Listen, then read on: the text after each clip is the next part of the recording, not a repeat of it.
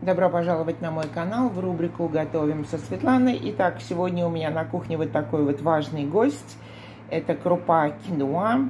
Эта зерновая культура очень популярна в Калифорнии, так как здесь проживает большое количество людей, следящих за своим здоровьем, а также тех, кто вегетарианцы или веган. И если вы пойдете в любое а, органическое кафе или ресторан, где есть обязательно, обязательно есть вегетарианское и веган меню, то вы обязательно увидите на завтрак, помимо обеда, я знаю, эта крупа очень популярна также, и ее используют для салатов, для супов, но также можно использовать и как немного сладкий вариант для завтрака. Видите, крупа глютен-фри, Помимо всего этого, это богатый источник протеина. Видите, протеина здесь 6 граммов, потасиума 273 миллиграмма, протеина 6 граммов вегетарианского протеина, то есть это целая кладезь а, белка растительного происхождения.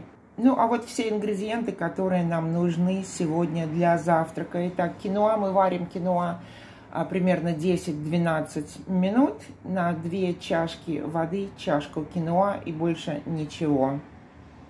Вот у меня уже готовая крупа, я ее сварила и она остыла. Вы можете подавать киноа теплую, но я люблю холодную, так как сейчас у нас в Калифорнии довольно тепло, то я думаю, что холодный и даже охлажденный вариант иногда подают а, в кафе, в ресторанах.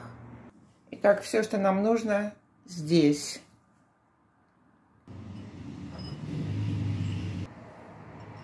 Мы добавляем изюм. А я люблю желтый изюм, вот этот вот из зеленого винограда.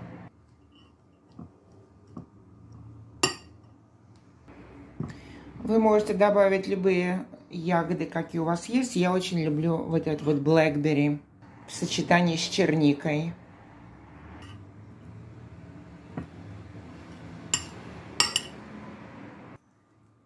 Немного банана грецкие орехи. И последнее, что нам нужно, нужно немножко сиропа финика.